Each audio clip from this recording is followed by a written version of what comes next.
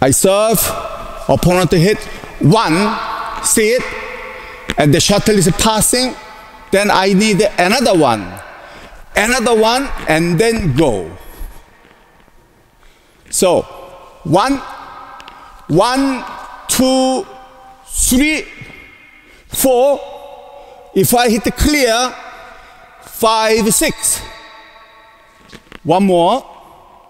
One, one, two, three, four, five, six. If I hit clear. If I did a drop shot, one, one, two, three, four, five. One step shorter because the flying time is shorter. I can smash with this step. One, one, two, three, four, five. Why I need the second one? One, because the shuttle goes deeper. If I don't do another one, I will be struggling to get to the shuttlecock because it's too far. Watch this. One, two, three.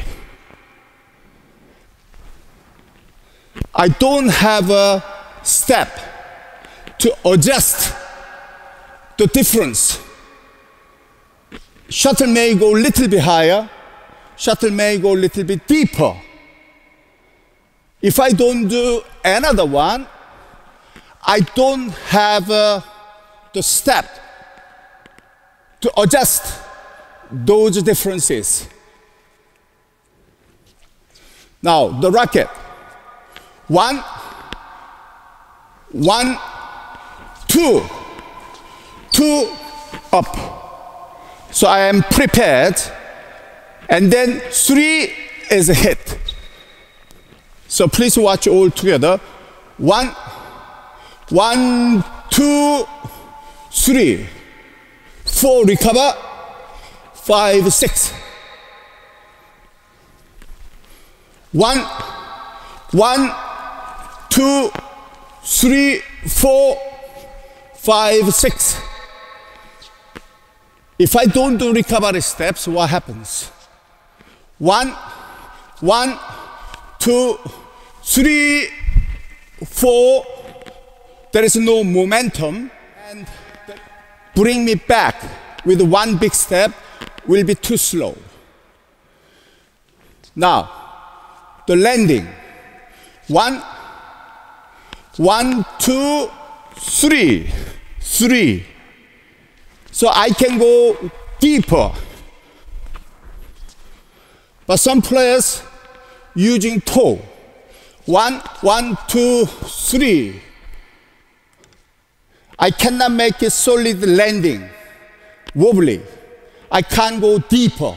This step is not possible to use if shuttle is a little bit behind me. Wait. One, one, two, three, four, five, six. Okay. Wrong way. One, one, two, three. Yeah. Now right way. One, one, two, three, four, five.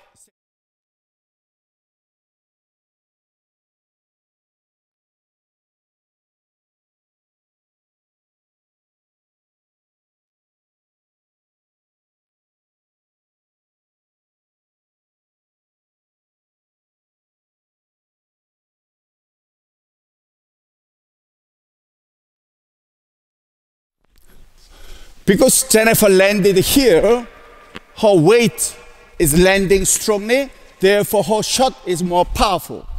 When she lands tall, it's not stable. Therefore, the hit is not powerful.